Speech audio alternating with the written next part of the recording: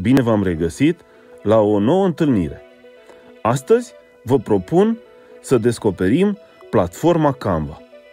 O platformă de design grafic ce are marele avantaj de a oferi mare parte din caracteristicile sale gratuit. Canva este o platformă ce oferă cadrelor didactice multe materiale necesare în activitatea de predare și mai ales evaluare. Sunt convins că o știți deja și că o folosiți. Ce vă propun este să tastați www.canva.com și să vă creați un cont de utilizator. Dacă aveți cont de Facebook, vă puteți loga direct. Ori de câte ori intrați în program. Dacă intrați de pe același computer, programul vă identifică imediat contul. Utilitatea este evidentă. Puteți crea orice design pornind de la uh, șabloane oferite gratuit. Vă recomand să realizați în special postere, dar și videouri pe care să le utilizați ulterior ca resurse educaționale deschise la clasă. Să pornim. Așadar, pe lângă afișe, pliante, logo-uri, documente și prezentări, cărți de vizită, infografice și bannere, puteți realiza, așa cum spuneam, o multitudine de alte materiale educaționale foarte utile în activitatea didactică.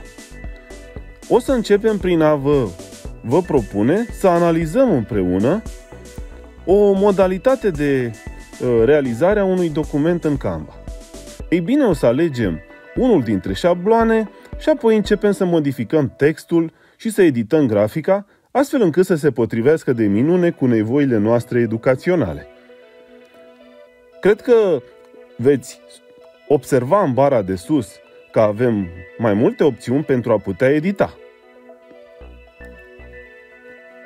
În partea din stânga veți găsi mai multe șabloane sau template-uri pe care, în mod automat, ve- îl veți putea încărca în secțiunea din mijloc. Așa cum se observă în imagine.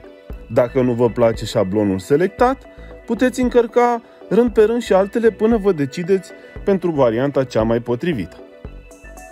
Pentru a descărca materialele este simplu.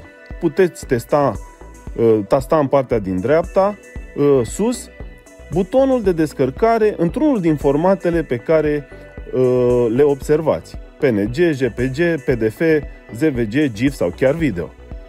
Sunt o multitudine de variante în care această aplicație, această platformă poate fi folosită foarte ușor, căci putem astfel produce materiale vizuale de un impact foarte mare pentru elevii noștri.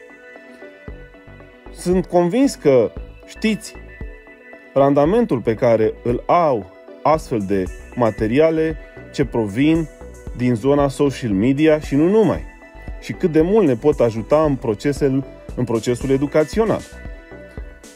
Sunteți un profesor care caută o modalitate ușoară de a vă promova cursurile? Ei bine, nu vă rămâne de făcut decât să ajungeți la o formă finală a posterului, să selectați descărcarea fișierului în format PDF din chenarul din dreapta și să-l trimiteți elevilor dumneavoastră.